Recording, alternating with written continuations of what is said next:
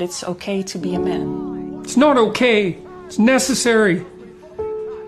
What the hell are we going to do without men? You look around the city here, you see all these buildings go up. These men, they're doing impossible things. They're under the streets, working on the sewers. They're up on the power lines in the storms and the, and the rain. They're keeping this impossible infrastructure functioning, this thing that works in a miraculous manner.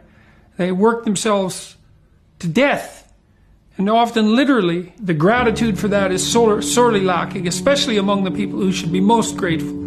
You see university professors, especially of the social justice bent, they take everything they have for granted, failing to understand entirely that there's a massive infrastructure of unbelievably hardworking, solidly laboring, working class men breaking themselves in half on a regular basis making sure that everything that always breaks works.